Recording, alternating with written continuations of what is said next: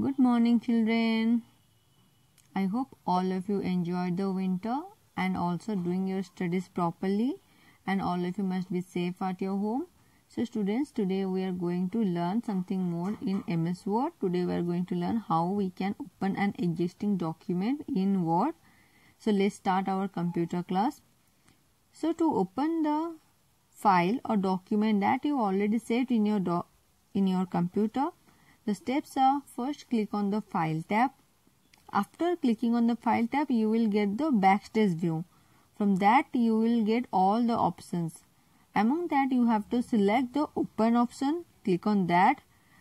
Then you will get a new window. From there, you have to double click on the computer option.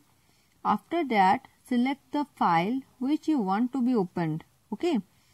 Then click on the open button that you will get in the bottom of that window.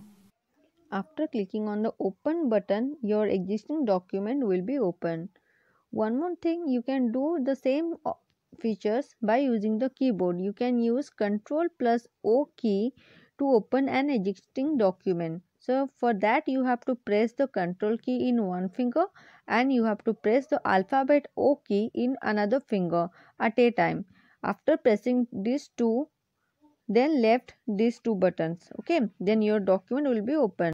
Now we are going to learn how can we close the word 2013 so after finishing your work in word you can close it by clicking on the close button on the title bar. You can see on the title bar right side top right side there are three buttons are present. The red one is known as your close button okay?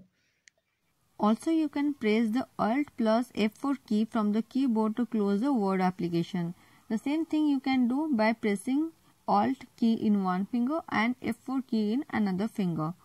After doing this step, if your document is not saved, then you will get the message that you want to close it. You have to confirm it. Then press the option that you want. Your document will be closed. So I hope all of you understood it. If there is an query, then contact to me. Thank you all of you. Have a great day.